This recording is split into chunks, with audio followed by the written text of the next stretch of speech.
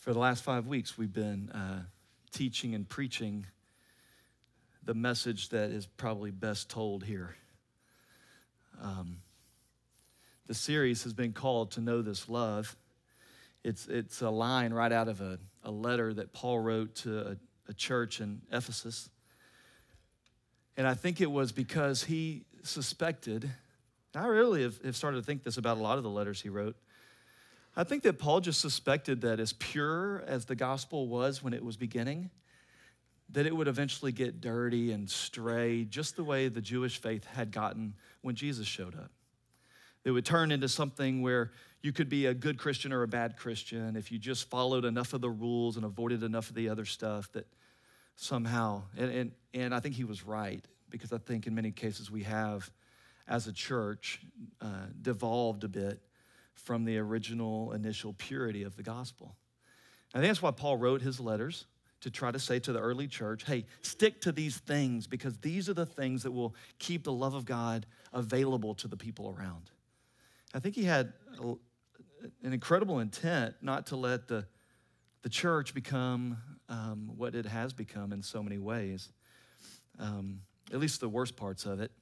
I think God smiles uh, upon the church in many ways too, because as I've said before, he has, he has the church as his plan A, and he doesn't have plan B for how he's going to rescue all of humanity.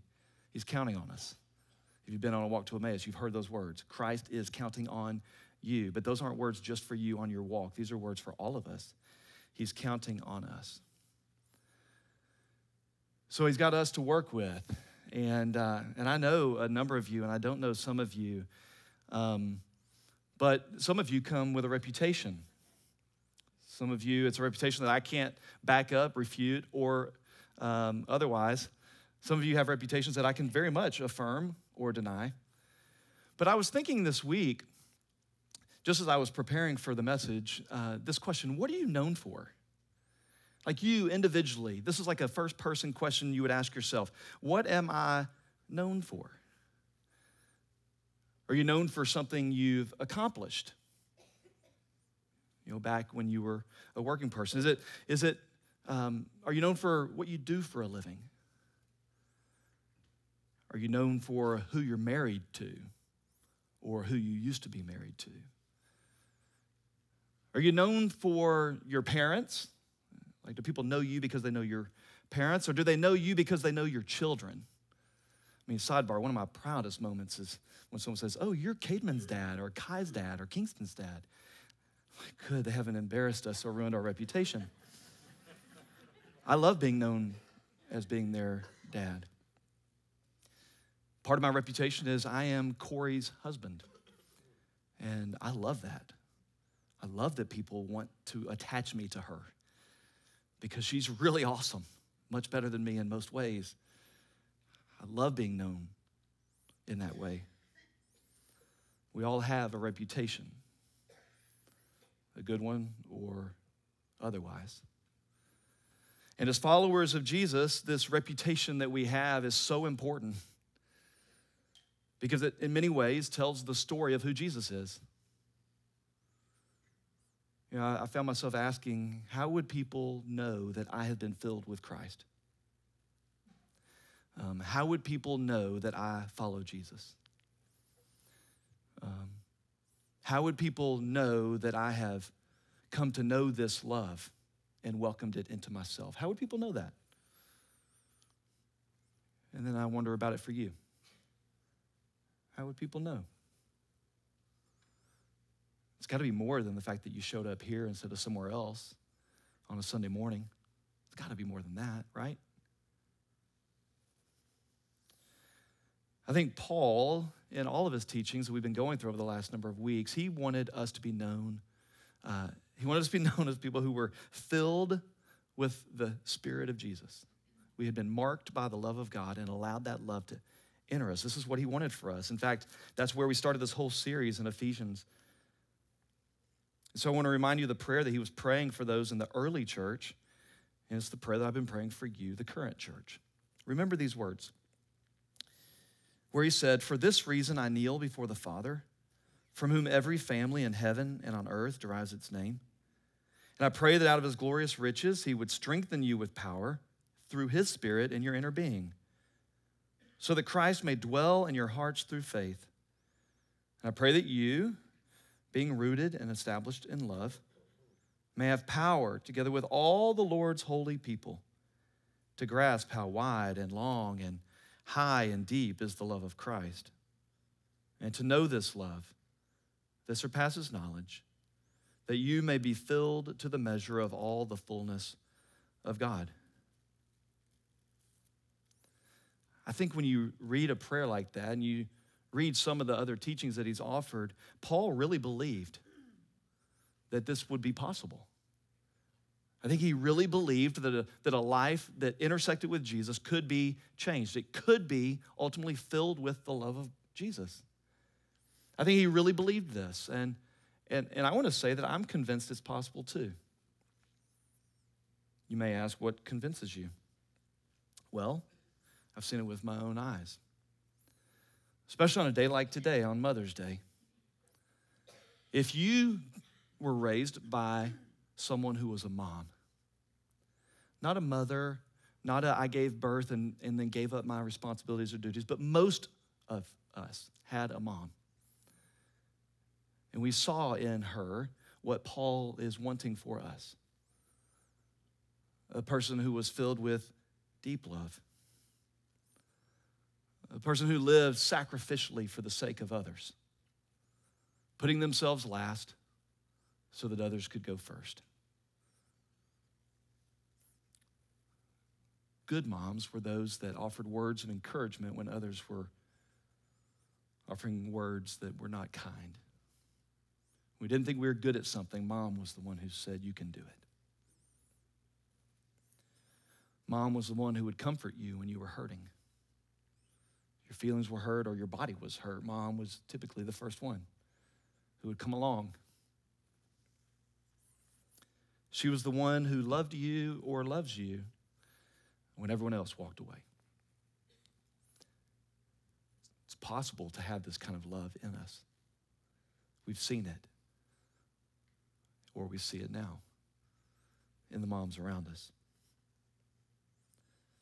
But the reality is, in this room, and maybe some of you dads thought, well, what about us? Like, well, Father's Day is coming and there won't be near as much pomp and circumstance.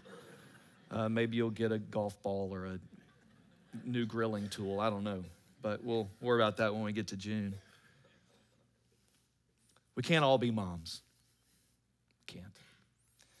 And on Mother's Day, it's always also a little bit uh, difficult to celebrate moms because there are amongst us folks who've always wanted to be a mom and never were able. Women who, who wanted to be moms, but for one reason or another, it just wasn't in the life that the Lord had for you.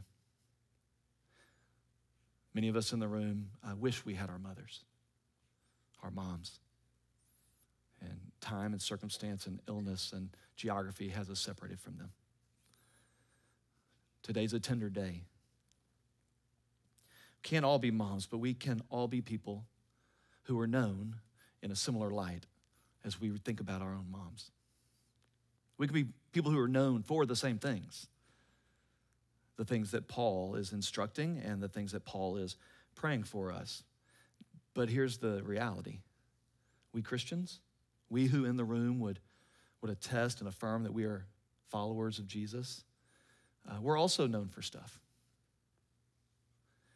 Now, in a recent survey, they surveyed believers and asked, What are Christians known for? And then they surveyed non believers, What are Christians known for? And you might not be surprised, or maybe you would be, that the top three words in those descriptions were vastly different. See, we Christians are known for something. Here's what we think we're known for. The three top were we are giving people, we are compassionate people, we are loving people. Pat yourself and the people around you on the back. That's what we think about ourselves. But more often than not, not only in this case, but in most cases, we think much more highly of ourselves than we ought. That's why the Bible teaches against that. Because if you talk to a non believer or a believer in another faith, here's the top three words they offer judgmental, hypocritical, self righteous. Not exactly the three things I want to be known for. But every time a non Christian experiences a Christian and they experience these three things, it becomes my reputation. And so it's on me not to be these things, but rather to be the things that I want to celebrate about us being giving and compassionate and loving. This is what I want to be known for. But I'm a Christian, and so I get lumped in with all the rest of y'all. And you're a Christian, and you get lumped in with all the rest of us. So, how do we fix this? Well, all y'all and all of us, that's why we spent five weeks on this. We need the love of Jesus in us. We need to welcome the love of God into us. We need to, to, to consider that the journey with Jesus is not a journey towards a list of to dos and to don'ts, but the journey with Jesus is a relational journey. Welcoming him in, becoming more like him, spending more time with him, so that, like Paul said, when people see us, we can proclaim it's not I who live, but it's Christ who lives in me. And we wouldn't have to, we wouldn't have to prove it with our words. As I heard someone once say, Your life is so loud, I can't hear a word that you're saying. We can welcome this love into us. And that love can take over. It comes as a gift, but you got to receive it. You got to welcome it. You got to unwrap it from time to time so that others can see what you got, like you would at Christmas or a baby shower. There was a time when a church, a collection of people were known exactly as I long for our church to be known. And it shows up in another letter that Paul writes. This time he writes it with one of his buddies, Timothy. He talks about uh, in his letter to a church that he had never been to before. He did not start this church. He was in prison writing a letter to a church he'd never been to before. He only knows this church by their reputation. And this is what he says in Colossians chapter 1. When he says we, he's talking about he and, and Timothy and maybe some of the other prisoners too.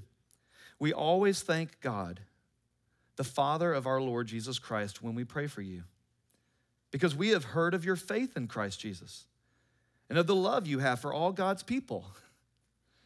The faith and love that spring from the hope stored up for you in heaven, and about which you have already heard in the true message of the gospel that has come to you in the same way, the gospel is bearing fruit and growing throughout the whole world, just as it has been doing among you since the day you heard it and truly understood God's grace. You learned it from Epaphras, our dear fellow servant, who is a faithful minister of Christ on our behalf, and who also told us of your love in the Spirit. Sidebar, we, we think, theologians believe, that maybe this Epaphras could have been the one who started this church.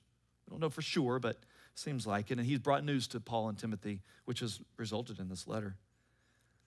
Paul continues. He says, For this reason, since the day we heard about you, we've not stopped praying for you.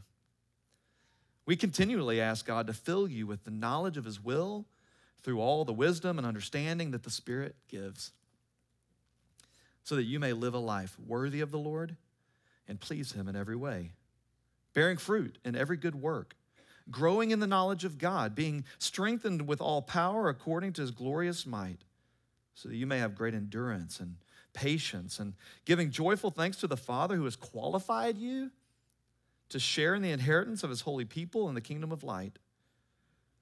For he has rescued us from the dominion of darkness and brought us into the kingdom of the Son he loves, in whom we have redemption, the forgiveness of sins. There, right there in verse 4, Paul says, We've heard of you. We've been hearing about you. And what we're hearing, this reputation that you have, is that you have such great faith and great love. Oh, it makes us so excited to know that you, as you gather in this early form of Christian community, that the things you're known for are faith and love. Now, as I'm reading this, I'm like, there's, hey, no mention of the pastor? How about the worship leader? He's good. I mean, when people hear of our church, what are they saying about us when they talk about our church? I tell you what, I'd exchange that they heard about our faith and our love. I'll exchange that for, hey, I heard you have that pastor, or I, heard you had that great program, or I even heard you had a great fish fry. I would so love it if this community and anyone who talks about us doesn't start with those things, but instead they would talk about your faith and your love. It says here that in verse 6 that you have heard and you truly understand God's grace. And I found myself in this letter wondering, Parker, you've had eight to nine years with these people. Have they grown? Are they growing in the, the understanding of God's grace? Do they get it? Have they, have they been completely convinced that it's not how hard they try at this, but how far God was willing to go to love them and to rescue them and to set them free? Like, do they know that yet? And I think that sometimes we have some, we still have some room to grow. And being completely convinced that this whole thing is not about getting your act together or pretending to have your act together on a Sunday morning. Nor is it a place to walk into a room and go, I can't believe they're here. if everybody knew how they lived during the week. And all of that's present in this room. Some of it has even been verbalized to me.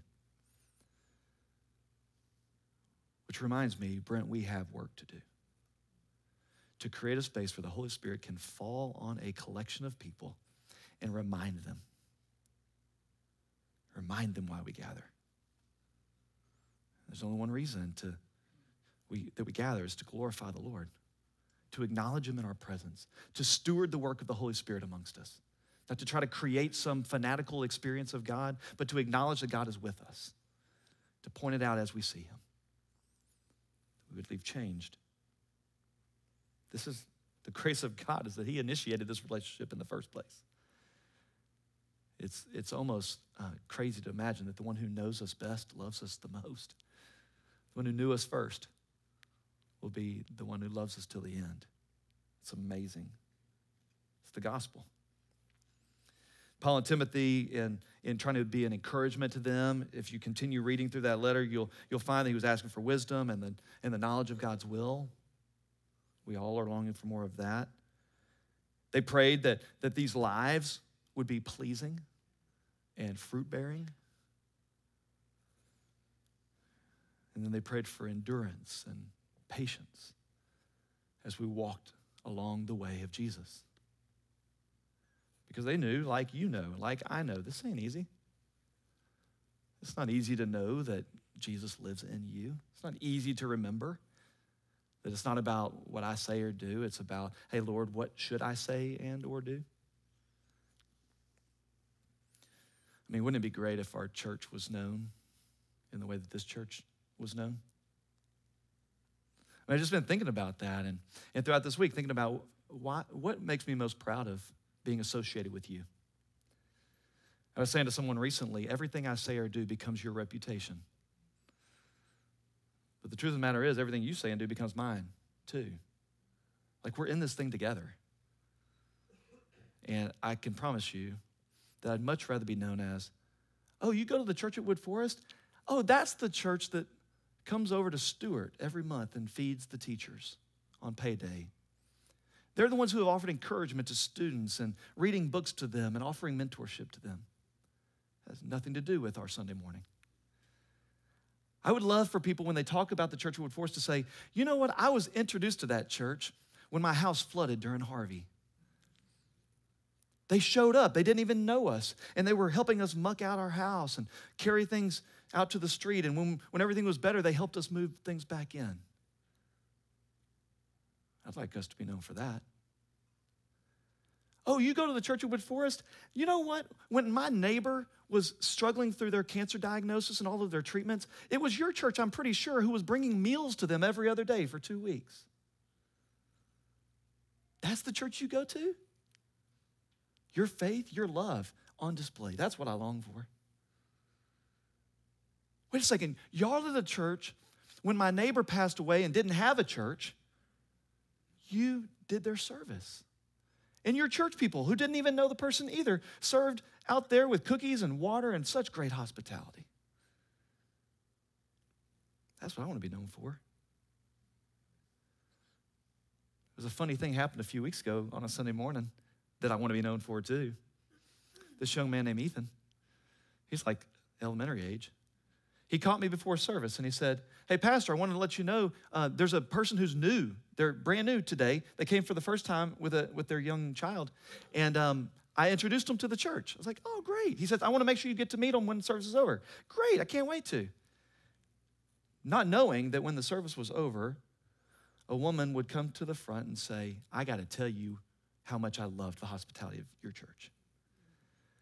I had a little boy meet me at the front door. He identified that I was new. I don't know if I had a sign on my head, but it was my first Sunday here. Maybe I looked lost, but it was my first Sunday. And he came over to me and he introduced himself to me and he took me on a tour of the building. He helped me get my child checked in. He showed me where the coffee and the donuts were and how I could get as many as I want. It's and then he said he wanted a, my family to sit with him, with them. And, and when, when this young man, I found this out later, when the young man couldn't be found during the first parts of worship, he was sitting with her.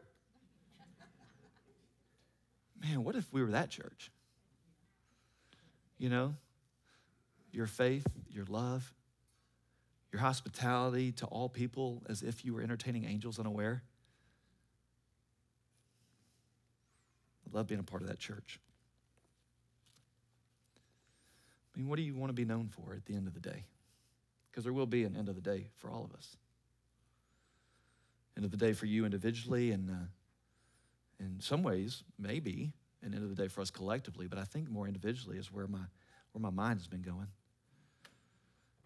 Because I've stood at the front of a church, this one and others, and at the end of the line, at the end of the day, and I've heard uh, beautiful things spoken about people we were celebrating. And I've heard others where we were just trying to find a way to make this person more than just they worked really hard and they had fast cars and they had the vacation homes and the, their kids were really talented at stuff. We got to want more than that, right? Want to be known for more than that, right? Known for more than what I do, more than what I've done, but how I lived. So this morning, I just want to invite you to consider uh, this truth that I found in the scriptures as we wrap up this series. Um, and at the risk of you running off to do goodism, just a simple reminder I can do all things with Christ, and I can do nothing without him. It's the truth of the Bible. Attached to him, I can do all things. His spirit can live in me and flow through me, and apart from him, I can do nothing. I might as well be a, a broken limb on a tree that's got no more nutrient thrown in the brush fire.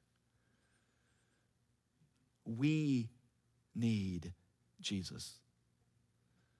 And whether you like it or not, or want it or not, you do too. Every one of you. You need him. And if you don't know him and you don't have him, um, I'm not going to let this morning go by without you having a shot. It just the very simple. It's very simple. Honestly, it just it's not easy, but it's simple. Because you got to be humble. You got to be humble.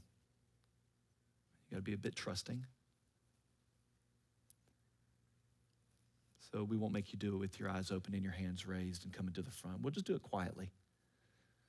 Quiet humility is a little easier than public humility sometimes. So let's pray just as we close. God, deep down, deep down, we want to be known as a good person, I think. I think most of us want to be known as a good person. The problem is, uh, God, and I've experienced this in my own life, that I will never be good enough. And if my whole goal in life is to be known as a good person, I'm going to be trying really hard every day, hoping not to make any mistakes, hoping not to fall short in my effort to be a good person.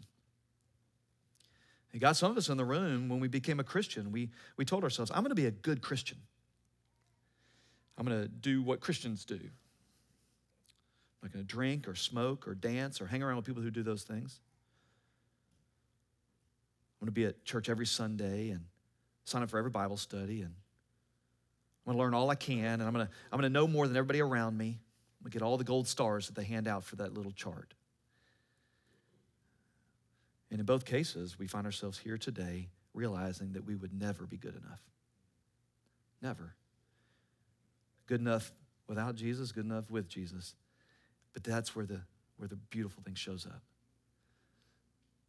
Because of Jesus, we are good enough. God, you make us good enough. You called us good, and then you bring your righteousness and you give it to us as a gift. You forgive everything that we've ever said or done, and you set us right. You give us opportunity after opportunity after opportunity to know this love, to receive this love, to be transformed by this love. Try to remind us this, this whole relationship is not about what you can do for me. It's about acknowledgement of what I've done for you, and it's about permission of letting me do it through you again. God, no doubt in this room and watching online are people who, um, who thought the whole Christian thing was fooey. Something that weak minded people say yes to so they can get into heaven. And they're not all wrong. I got to believe this is more than just about getting into heaven.